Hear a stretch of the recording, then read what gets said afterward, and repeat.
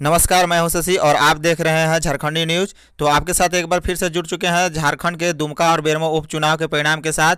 आपको बता दें, बेरमो से कांग्रेस प्रत्याशी आगे चल रहे हैं, जबकि दुमका से बसंत सोरेन आगे चल रहे हैं। जी हाँ, आपने सही सुना, बेरमो से चौदहवें राउंड के अनुसार छिहत्तर मत मिले हैं कुमार जयमंगल को और योगेश्वर महतो को तिरसठ हज़ार तीन सौ इकतालीस मत मिले हैं। आपको बता दें, बेरमो से तेरह हज़ार निन्यानवे वोट से आगे चल रहे हैं कांग्रेस पार्टी।